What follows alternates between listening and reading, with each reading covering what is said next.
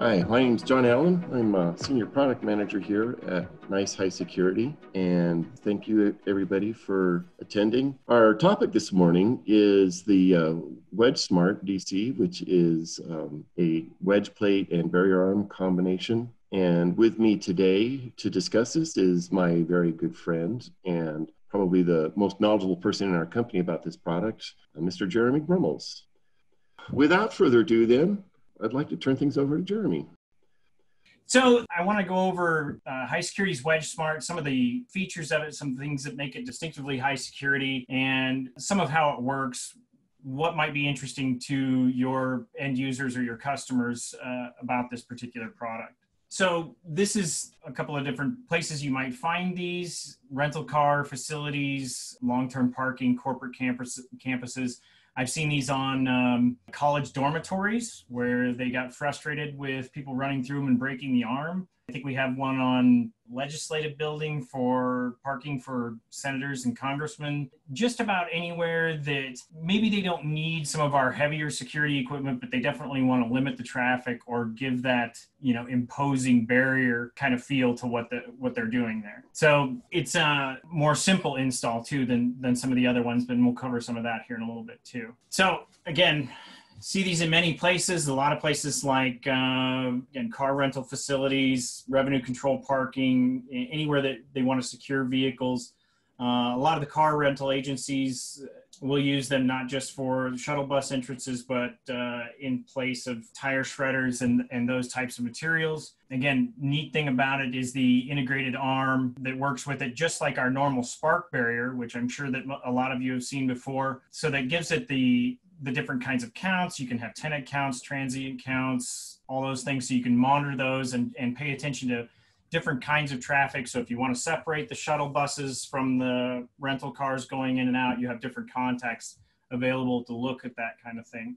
And much like our other barriers, it uses our HyNet and HY5Bs and plenty of relay outputs for guards and different security or flashing lights, buzzers, anything like that. So again, the kind of the trick to this, uh, what makes it neat is it's two barriers in one. Uh, obviously, I'm sure a lot of you have seen the, you know, the tire shredders with maybe a different brand of barrier arm in front of it. This is an integrated system, so all of that kind of works in conjunction with each other, the arm and the wedge plate itself making it a more interactive system on your side and allowing you a lot more control. So as the plate goes down, reaches the bottom, the arm goes up, then the arm comes down, the plate goes up. That way you've got something more visual, that plate obviously being, you know, down in front that barrier makes it a more visible to cars passing through so they they're waiting for the wedge to to hit the ground. As with all of our stuff it's a lot of industrial grade components. It's another neat thing about the the way this functions too is the fact that uh, it's not powered in the down position. It's it's basically resting. A lot of the barriers out there in in this market segment are powered when they're in a down position so that it works less hard to pull it up this doesn't have to do that. This is this is resting when it's in the down position, so it's not under power all the time, making it low lower maintenance and uh, giving it a longer life. So let me run a little video here so that everybody can see the, how it kind of looks in person. I'm going to turn the sound down a little bit on that. Sorry about that. Clicked in the wrong spot. So this is one of the first ones we put in. It's got a it's um, a little different look than uh, now with the with the newer ones than it was with these originally, but the operation is basically the same. Nice smooth operation of the wedge. Our same you know strong arm park barrier that goes up and down in a, in a standalone strong arm park is is the arm itself on this one then the wedge plate comes out. So this this was one of our beta sites, right, Jeremy? That's correct. This is a beta site. I think at SeaTac, right there in Seattle, not that or at SeaTac, not that far from from our office. So, uh, crash rating. This is a an engineered rating of SC40, which is small car 2,430 pounds at 40 miles an hour, a full size sedan at 4,630 pounds at 30 miles an hour. A lot of times, again, um, if you're just looking for the intimidation factor of having that kind of a barrier out there, which is the reason why some places are interested in these, the rating doesn't necessarily matter as much. And in that case, one of the nice things about this as well is that it's a surface mount. But if you need that engineered rating, there are some foundational things you can do that are pretty minor and you'll get you'll achieve those ratings. And those are pretty good ratings for a barrier in this segment. Pretty good and pretty Let me standard. go up to the next slide, Jeremy. I just wanted to ask you about what's the deal with the blue car here and the wedge facing the way it's facing. That would be a car exiting. In in this in this application, the way these are run, both of these wedge plates are up to protect someone from entering, well, or protects a vehicle from exiting, I, I, should say, so it doesn't get stolen. Typically, you're not concerned about a car traveling this way. If, if this were a rental car facility, for example, one of the things that uh, thieves are doing now is they'll grab a, a suburban or an SUV or something like that, try to run through this way, whether it's the entrance or the exit, and then they'll follow out that same direction with five or six other vehicles. So in this case, if this were a rental car facility and there were a bunch of vehicles inside here that they were trying to keep from leaving, this is the correct direction because you don't want pe- people to charge this exit lane or this entry lane and use it as an exit. So you're using the barrier arm to control the traffic flowing in the opposite direction of the wedge plate. That's correct. So this this you know bluish purple car is is still watching this arm still has this as a visual cue that the wedge plate is up or down but it's keeping vehicles from exiting basically keeping people from stealing vehicles. And really that's that's fairly typical. You'll see the wedge plates facing both in the same direction most uh, most of the time on these. And and again the reason for that being is either to keep vehicles from entering regardless of the lane or exiting regardless of the lane. Even our larger wedges the SAM 50s, you'll see that same thing on an exit. The uh, it'll look like a ramp. So again, neat things about this: the integrated traffic light. Uh, some of these, some of the things in this market segment, some of the barriers in this market segment have a light that stands off to the side, or you'd have to order it separately. We're trying to provide you with an entire system here, so it's it's nice in that way. And because just like John and I were just talking about, you may want to run vehicles in both directions or prevent vehicles from driving in in both directions. You've got a light that you can do on both sides. So bumper pad on the on the bottom of the arm the bumpers on the bottom of the wedge itself are actually kind of like sound deadening. They work really well for that. This thing is par- fairly silent operating. If you've ever been around some of the bigger wedges you can hear them. They yeah they clank know, when they close right Right. They clank, they ka-chunk, they make big old noises because, well, they're big old wedges. These plates are, are relatively heavy. And for for what it is and what it does, this barrier is relatively quiet. That's one of the reasons for this padding. It also allows for if there were a minor amount of dirt or debris of any kind underneath of there, it, it allows it to kind of work around it because the plate itself doesn't have to lay 100% flat. It's got, it's got a bit of a crown in it. Correct. And that crown actually makes the wedge itself more rigid, but again, allows for minor amounts of debris underneath, which is nice because one of the things that you get in a lot of these plates that have to come down flat is, you know, I've talked to a lot of maintenance departments and they're, they say that one of the bigger hassles is just keeping it clean underneath so that it functions without error the red on the top side is more of like a grip tape like you'd find on a skateboard or something like that but it's reflective. So it's just something to keep from slipping. So move to the next one. Also huge features in this thing. We've got an arm only mode. So when i talked about some of the barriers that have to be under power all the time that's not super handy if you have to power the wedge down for let's say an hour while everybody's taking a lunch break and they're trying to dump everybody out of the parking lot so that they can go grab lunch. It's not awesome to have the wedge under power that entire time. So One it cycles faster when you have it in arm only mode? Yes so it'll also cycle much faster right? Because you're just waiting for the barrier arm itself. Super handy in that way as well. The articulating arms again, parking garages or anything like that where you've got low ceiling clearance, that's super handy. Also available in our strong arm park model.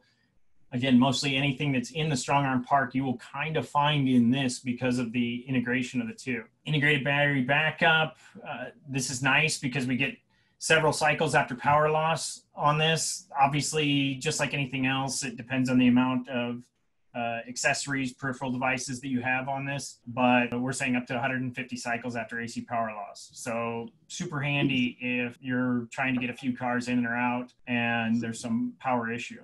That standard or is that an option? The battery backup is standard on these, just like all of our other electromechanical machines. They're all DC, they all are DC powered. So, this uh, battery mount kit that it talks about here is actually just because there's two different panels and you may want to have it moved to a different portion of the machine. Zinc over powder coat, just like a lot of our other stuff. So, long wear life on these without rusting. There's, uh, I'm sure you've heard this joke before, John, but uh, people talk about the uh, pre rusted for your convenience Oh so yeah. In the in the crash market, that that that a lot of times is pretty standard, especially when you're putting things down against the concrete all the time. And these have a pretty good tolerance for you know the salt and the water and and everything else that gets on the ground. I mentioned before the surface mount installation, which again if, if the customer is not needing the crash rating then you know it's it's a simple bolt down to where it's at otherwise there's there's a there is a shallow foundation and when we say shallow, we mean shallow. This is, it's 11 inches under the chassis, seven inches under the wedge, which is some of the smaller footprints in the industry. There is an anchor template that's provided so that it's easy to bolt this thing down. You drill the holes and set the bolts in epoxy, again, making it pretty easy. You don't have to have them all perfectly lined up to set all this stuff down on it. So the strap attaches to the chain on this. This is a similar strap to ours uh, M50s and M30s, but just much smaller, obviously. And that's where you get the retention of the wedge when, when it's impacted. That's what keeps it from just flipping over the top when it's struck. Correct. And we say that, you know, if it impacted less than 10 miles an hour, uh, it won't damage the chassis. I've actually seen some of them that are struck and reusable. Again, uh, we're never suggesting that you would take and run into one of these and then reuse it if it's you know some sort of critical infrastructure or something like that where they need that crash rating uh, you certainly want to talk to the customer about any kind of strike and whether or not you feel it's prudent to reuse it there's always a danger of something having happened if it's been hit uh, hit hard enough in those kinds of situations. So one of the greatest things, as far as I'm concerned, that we did with this, you know, we had to do something different where we were running two different motors and and two different barriers really within one. And rather than develop an all new board that would run both of these, we have, and I'm sure some of you have heard me say it before. We, I work with some of the smartest engineers on the planet. It was really ingenious. They just used two of our smart DC boards and tied them together so that this is the same board that you guys would find in any of our other equipment. Again, like the Strong Arm Park or a Slide Smart or a Swing Smart the board has the board is absolutely no different. We're just making them we're, we're using the 485 communication to talk between the two of them so that it kind of functions like when you tie two independent barriers together.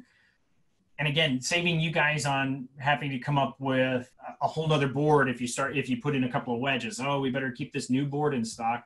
No it's the same board you guys have been using. So makes it super simple for you in that way. Uh, same HY5Bs that we that we run. Again, we talked about that earlier. This is HyNet capable, so a lot of secure facilities, a lot of government type things are now using the HyNet to tie in for communication. So they can monitor it at, at all times. They can you know you can get e- emails about uh, errors or anything like that again, secure locations, especially at a distance, they're usually very interested in c- keeping a close eye on these things. So not only could you, with our HyNet, I'm sure you're aware, but uh, you can land an IP addressable camera on it, but you can also monitor this gate in uh, in real time. HY5Bs, we mentioned those. For those of you that don't know about uh, the advantage of the HY5B over the HY5A, this is really an enhanced detector even over our previous generation. It's uh, the detection is much better. We can more or less see one car right behind the other. So we have a very good ability to read the separation in vehicles. And you can kind of see over here in these graphs on the side what that kind of looks like. We don't we don't have to, you know, like tailgating is easier to pick up in this. Okay. We also built in, uh, you know, some enhanced grounding on it. There's a ground right on the on the HY5B itself. You've got more loop diagnostics. The you know improved ability to read between vehicles helps with closer counts. Just a lot of advantages to running the HY5B. And as it mentions up here, it has a motorcycle mode.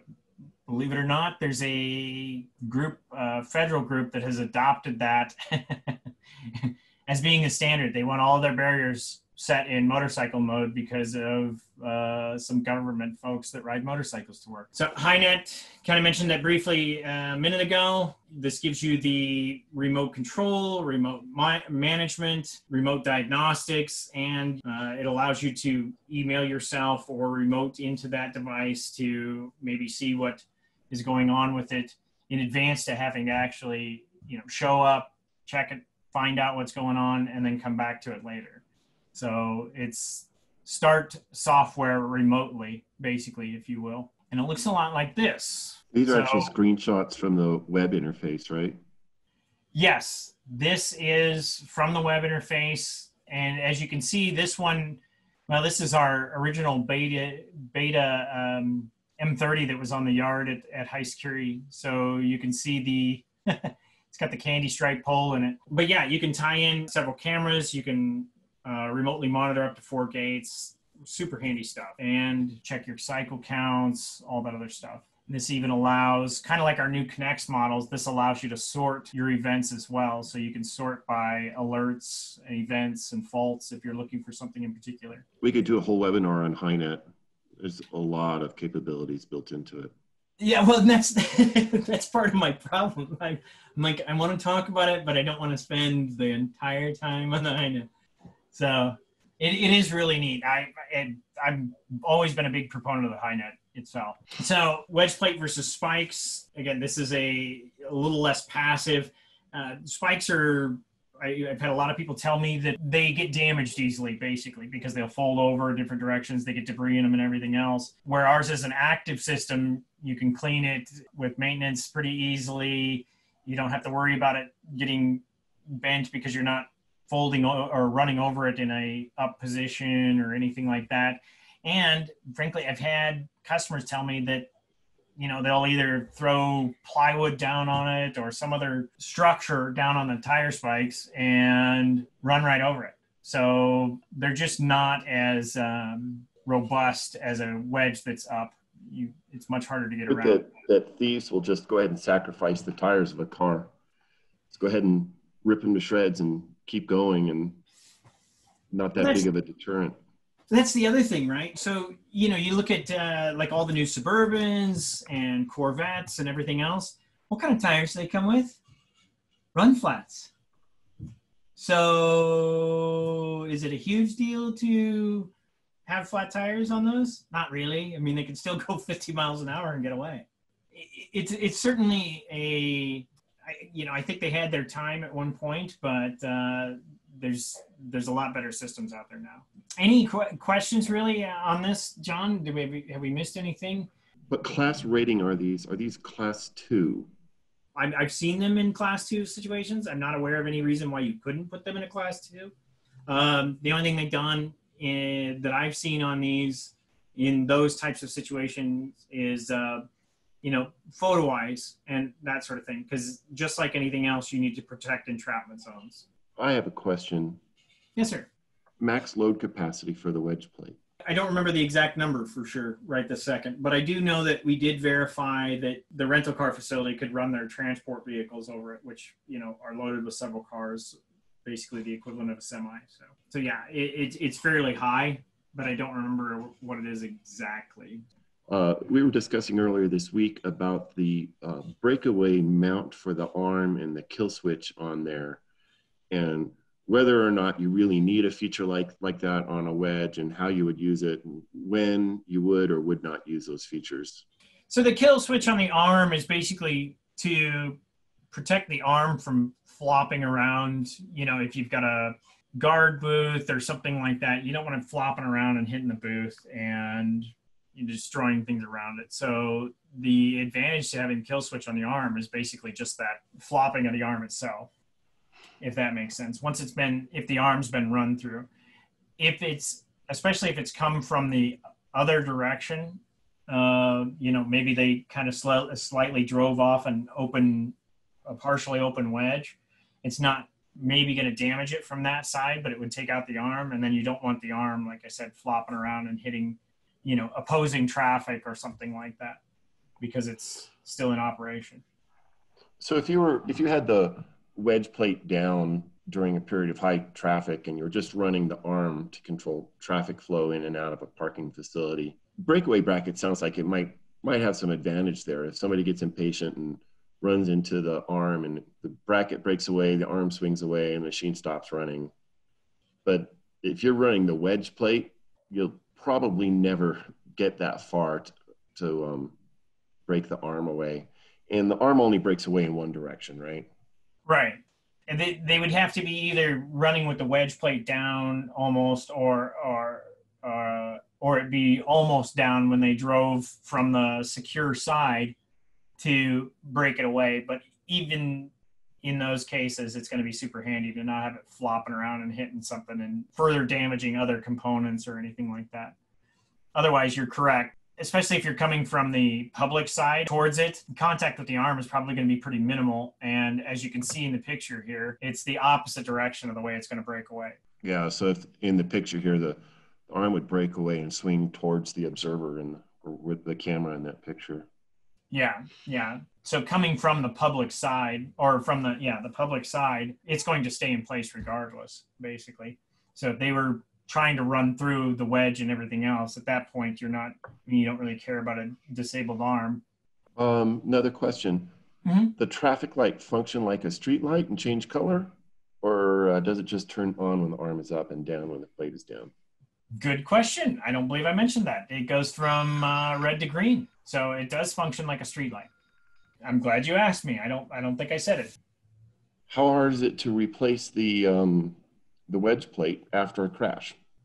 So the wedge plate itself is not that difficult to replace. The great thing about the construction of it and the way we've the way it was designed is the wedge itself kind of stands alone. So if it is damaged, it's not overly difficult to replace. You have uh, you would have that that strap that we talked about inside that may have given the wedge it plate itself may uh, may be bent. Those are going to be your biggest replacement items, and and both of those are are fairly reasonable to replace. So, um, would you ever need to replace the whole machine? You could. Um, you know, I kind of talked about earlier how it's surface mount. So if you are replacing the whole machine, even if you had a bunch of bent, bent bolts and everything else, it wouldn't be that difficult to replace it.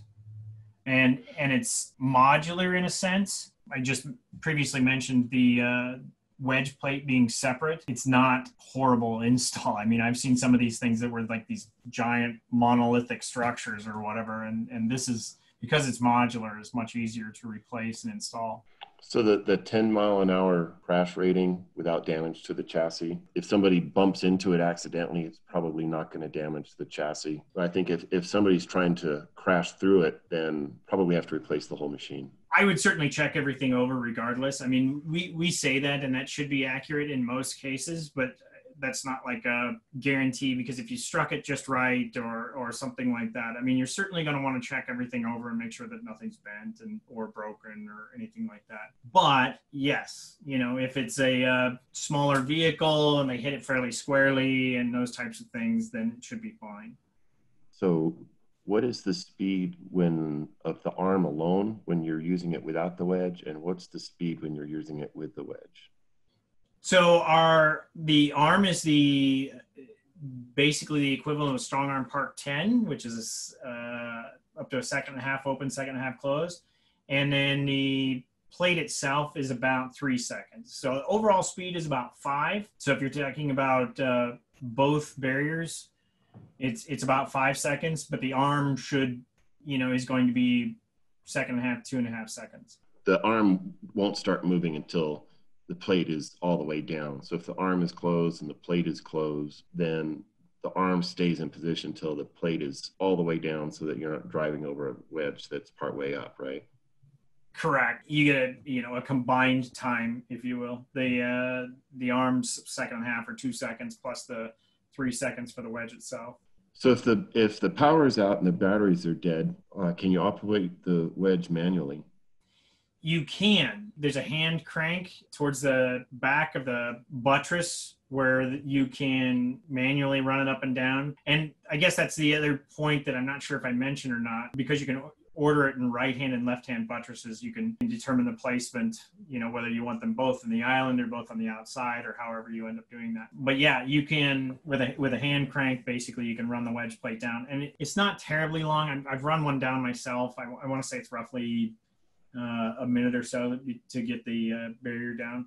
So it's not it's not too bad. And our strong arm park, as many of you know, if you kill the power to it 100%, you can just lift it with your hand. So even if it's in the down position, the arm is super easy, and then the wedge plate you just run with the uh, hand crank. Okay. Last question. In the case that an obstacle is above the plate, is there some kind of protection? If there's a, a car over the span, what keeps the wedge from lifting up underneath the car? Just like the rest of our electromechanical stuff, there is an IES built in at both directions. Now, I, I, I would not stick my unsteel-toed foot underneath of it just to test it, but it does have a, a an IES built into it so that it will reverse. what, what is IES? Uh, our inherent entrapment sensor. So it measures the amperage uh, draw of the motor so that it knows if it's if it's contact and an obstruction same setup as a Slide Smart, Swing Smart, um, any of our Knex models, uh, Strong Arm Park, they all have that same type of IES. So it will detect a collision with an obstruction and correct. And then what does it do? Does it just stop or? It does. It stops. It beeps. Um, I think you can set it to full reverse, but I don't think it will otherwise. So full reverse is an, an optional setting. I think it'll back up for one second. Otherwise, you can do a full reverse, I think, as well. The idea being that if you know it's your hand or something like that that's in there, it will back up just enough for you to pull your hand free.